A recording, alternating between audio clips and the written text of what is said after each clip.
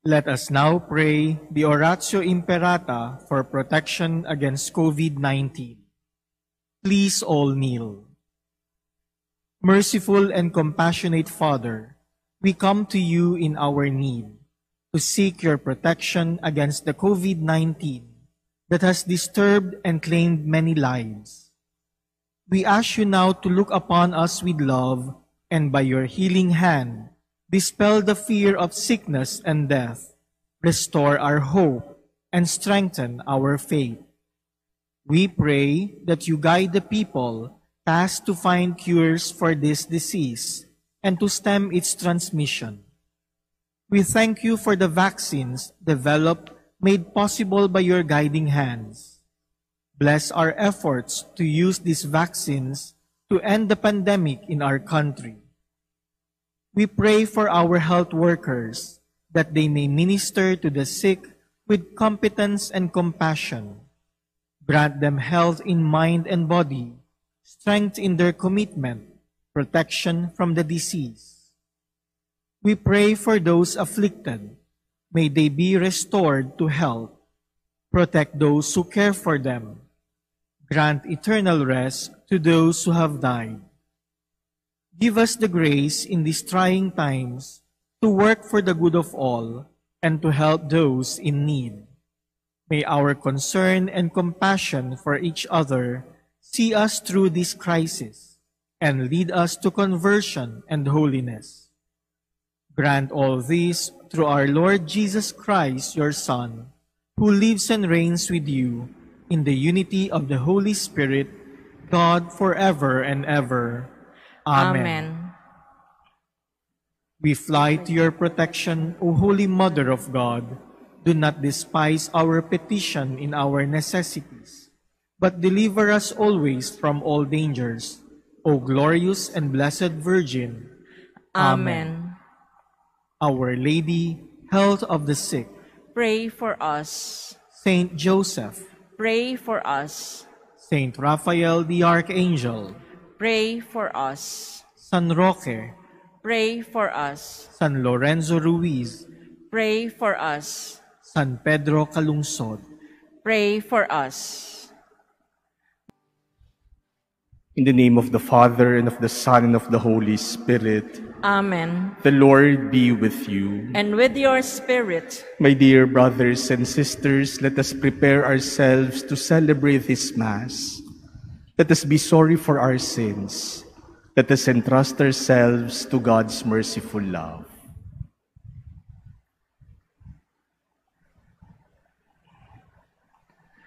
Lord Jesus, you give us new life. Lord, have mercy. Lord, have mercy. Lord Jesus, you forgive our sins. Christ, have mercy. Christ, have mercy. Lord Jesus, you feed us with your body and blood.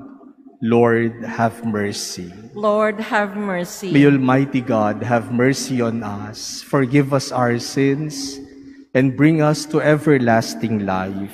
Amen. Let us pray.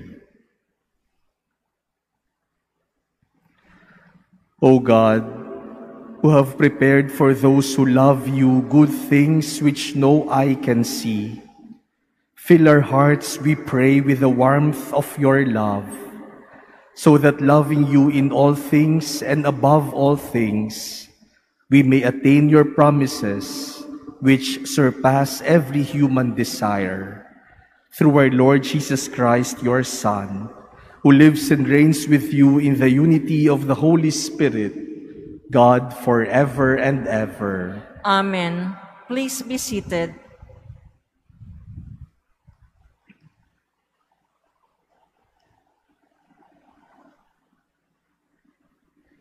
A reading from the book of the prophet Ezekiel. Thus says the Lord, I will prove the holiness of my great name, profaned among the nations, in whose midst you have profaned it. Thus the nations shall know that I am the Lord, says the Lord God, when in their sight I prove my holiness through you. For I will take you away from among the nations, gather you from all the foreign lands and bring you back to your own land. I will sprinkle clean water upon you to cleanse you from all your impurities and from all your idols I will cleanse you. I will give you a new heart and place a new spirit within you, taking from your bodies your stony hearts and giving you natural hearts. I will put my spirit within you and make you live by my statutes, careful to observe my decrees. You shall live in the land I gave your ancestors. You shall be my people, and I will be your God. The word of the Lord. Thanks be to God. I will pour clean water on you and wash away all your sins. I will pour clean water on you and wash away all your sins. A clean heart create for me, O God, and a steadfast spirit renew within me. Cast me not out from your presence, and your Holy Spirit take not from me. I will pour clean water on you and wash away all your sins. Give me back the joy of your salvation, and a willing spirit sustain in me. I will teach transgressors your ways, and sinners shall return to you. I will pour clean water on you and wash away all your sins. For you are not pleased with sacrifices. Should I offer a burnt offering, you would not accept it.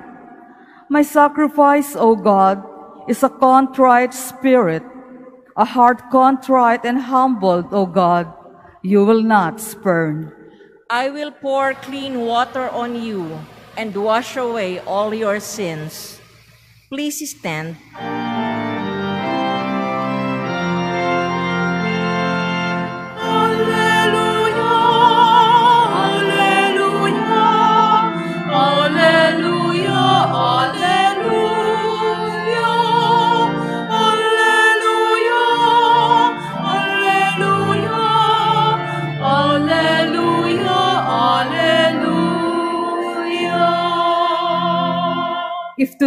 Hear his voice, harden not your hearts.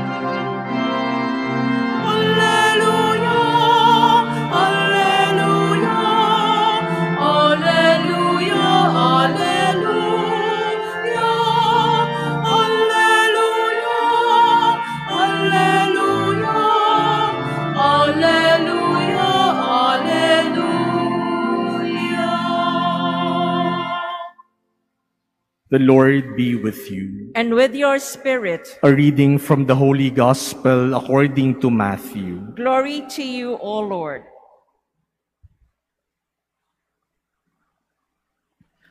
Jesus again, in reply, spoke to the chief priests and the elders of the people in parables, saying, The kingdom of heaven may be likened to a king who gave a wedding feast for his son. He dispatched his servants to summon the invited guests to the feast, but they refused to come. A second time he sent other servants, saying, Tell those invited, Behold, I have prepared my banquet. My calves and fattened cattle are killed, and everything is ready. Come to the feast. Some ignored the invitation and went away, one to his farm, another to his business. The rest laid hold of, the, of his servants, mistreated them, and killed them. The king was enraged and sent his troops, destroyed those murderers, and burned their city. Then the king said to his servants, The feast is ready, but those who were invited were not worthy to come. Go out therefore into the main roads and invite to the feast whomever you find. The servants went out into the streets and gathered all they found, bad and good alike, and the hall was filled with guests. But when the king came in to meet the guests, he saw a man there not dressed in a wedding garment. He said to him, My friend, how is it that you came in here without a wedding garment? But he was reduced to silence. Then the king said to his attendants, Bind his hands and feet and cast him into the darkness outside, where there will be wailing and grinding of teeth. Many are invited, but few are chosen.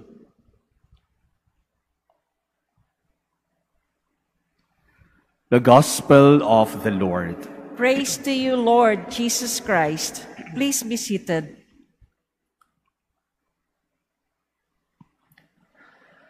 My dear brothers and sisters, it is not Valentine's Day today,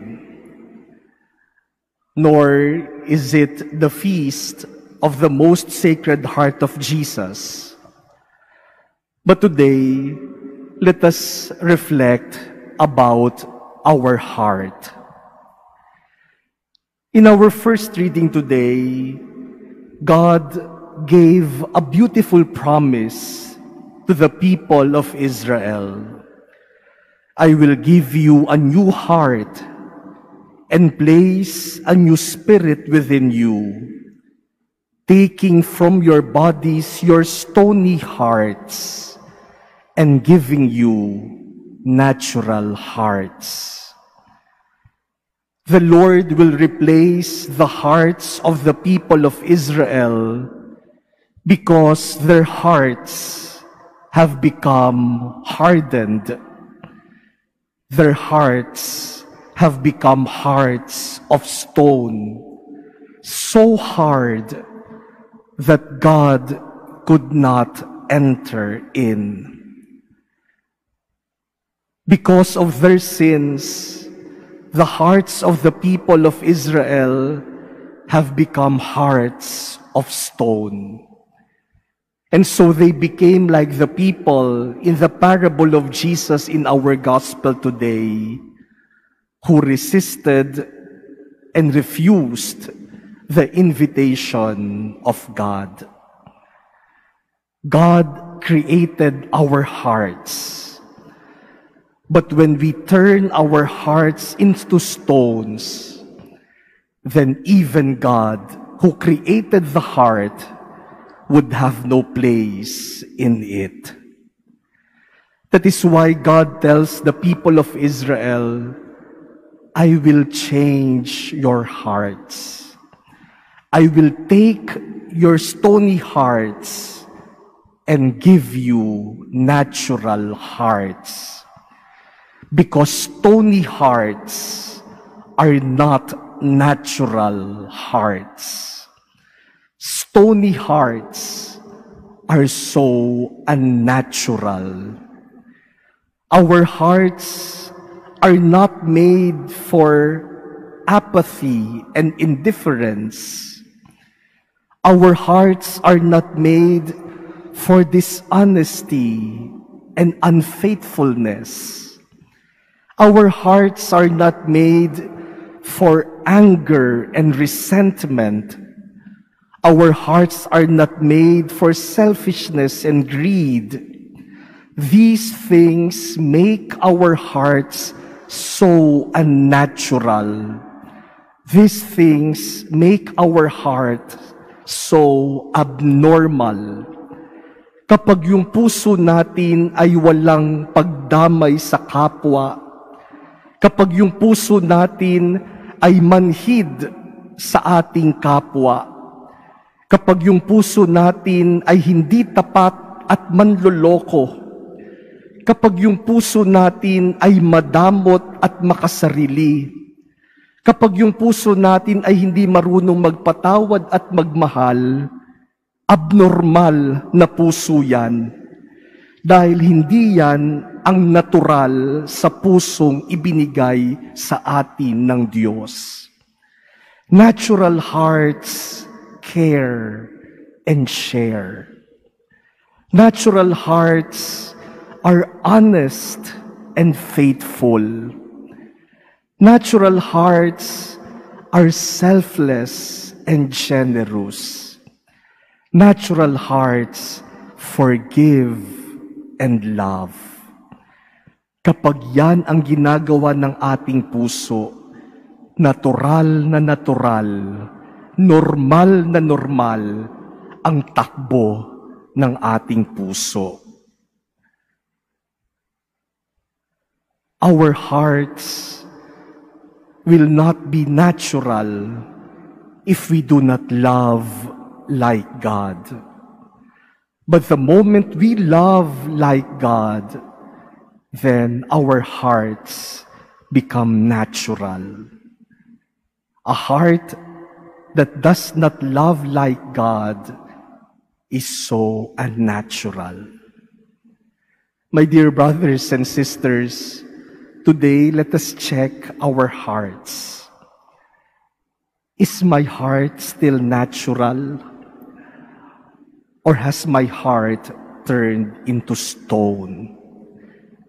Baka naging bato na ang puso natin at hindi na natural ang function ng ating mga puso.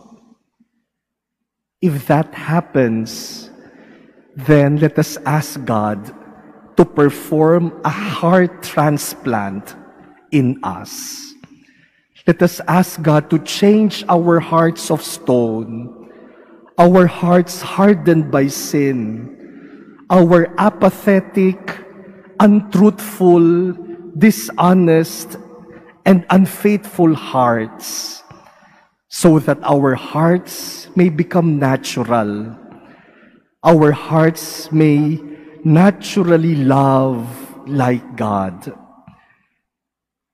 And when our hearts become natural hearts, they become like the heart of Jesus.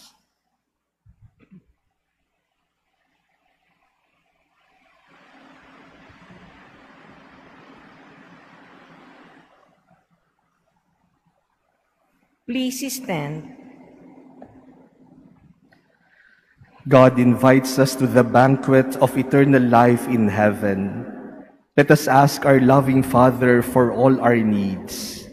For every petition, let us say, Lord, hear our prayer. Lord, hear our prayer. that the church on earth may continue to flourish and draw many to the feast of God's kingdom, let us pray to the Lord. Lord, hear our prayer. That the rich and the poor alike may not make excuses to evade the call of the kingdom, let us pray to the Lord. Lord, hear our prayer. that by having pure and contrite hearts, we may be found worthy to come to the banquet God has prepared for us. Let us pray to the Lord. Lord, hear our prayer. That we may bring God's compassion and kindness to the sick and the disabled. Let us pray to the Lord. Lord, hear our prayer. that the dead may live in house of the Lord and rejoice in the banquet of eternal life. Let us pray to the Lord. Lord, hear our prayer. We pray in silence for our own petitions. We pray for the people who need our prayers and all the intentions offered in this Mass.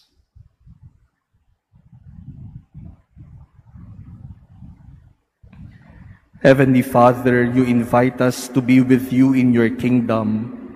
As we pray for others, help us to bring them with us to that banquet set forth by your Son, Jesus Christ, who lives and reigns forever and ever. Amen. Please be seated.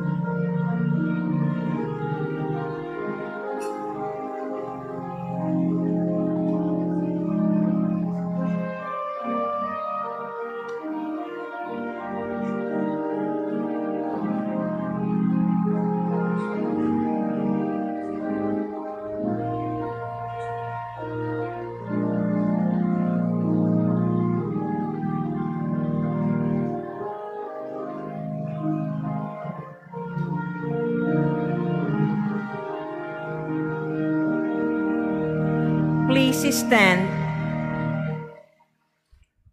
Pray, brothers and sisters, that my sacrifice and yours may become acceptable to God the Almighty Father. May the Lord accept the sacrifice at your hands for the praise and glory of his name, for our good and the good of all his holy church. Receive our oblation, O Lord, by which is brought about a glorious exchange, that by offering what you have given, we may merit to receive your very self through Christ our Lord. Amen. The Lord be with you. And with your spirit, Lift up your hearts. we lift them up to the Lord. Let us give thanks to the Lord our God. It is right and just. It is truly right and just, our duty and our salvation, always and everywhere to give you thanks, Lord, Holy Father, Almighty and Eternal God. For just as through your beloved Son you created the human race, so also through him, with great goodness, you formed it anew. And so it is right that all your creatures serve you, all the redeemed praise you, and all their saints with one heart bless you. Therefore we too extol you with all the angels, as in joyful celebration we acclaim. Holy, holy, holy Lord God of hosts, heaven and earth are full of your glory. Hosanna in the highest. Blessed is he who comes in the name of the Lord. Hosanna in the highest. Please kneel. You are indeed holy, O Lord, the fount of all holiness. Make holy, therefore, these gifts, we pray, by sending down your Spirit upon them like the dewfall, so that they may become for us the body and blood of our Lord Jesus Christ. At the time he was betrayed and entered willingly into his passion, he took bread, and giving thanks, broke it, and gave it to his disciples, saying, Take this, all of you, and eat of it, for this is my body, which will be given up for you.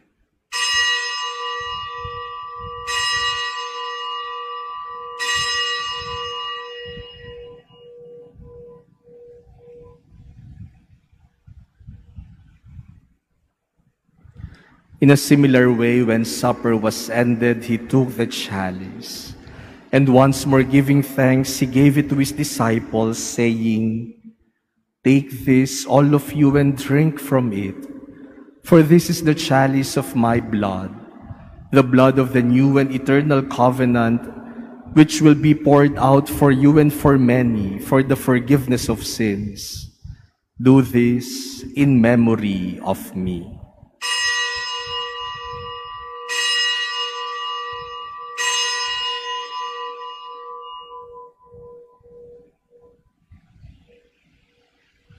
Please stand. The mystery of faith. We proclaim your death, O Lord, and profess your resurrection until you come again. Therefore, as we celebrate the memorial of his death and resurrection, we offer you, Lord, the bread of life and the chalice of salvation, giving thanks that you have held us worthy to be in your presence and minister to you. Humbly we pray that partaking of the body and blood of Christ, we may be gathered into one by the Holy Spirit.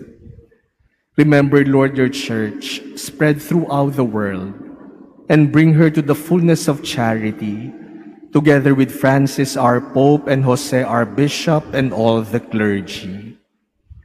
Remember also our brothers and sisters who have fallen asleep in the hope of the resurrection, and all who have died in your mercy. Welcome them into the light of your face.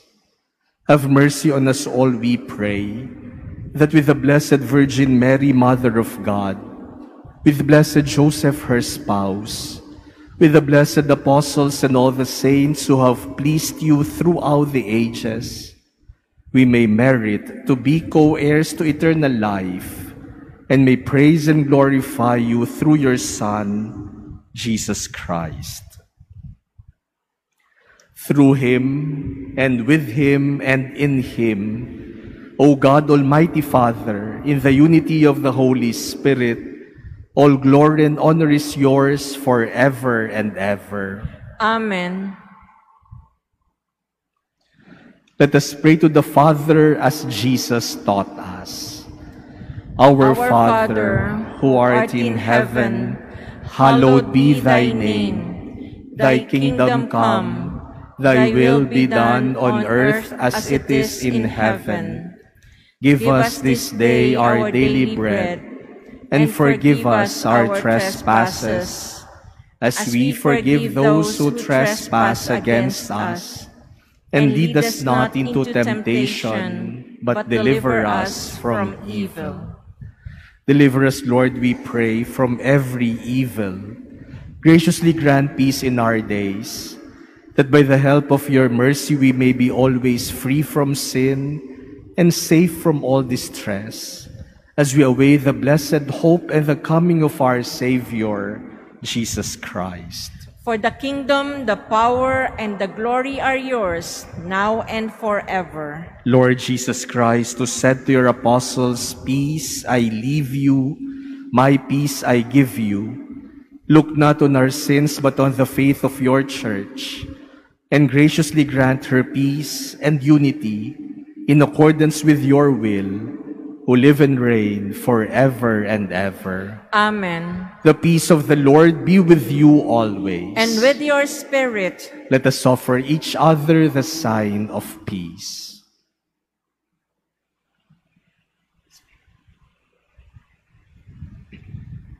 Lamb of God, you take away the sins of the world, have mercy on us.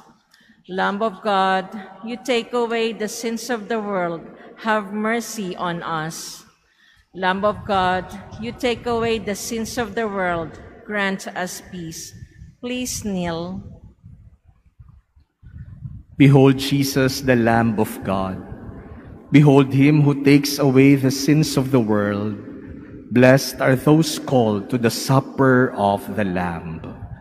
Lord, I am not worthy that you should enter under my roof, but only say the word, and my soul shall be healed.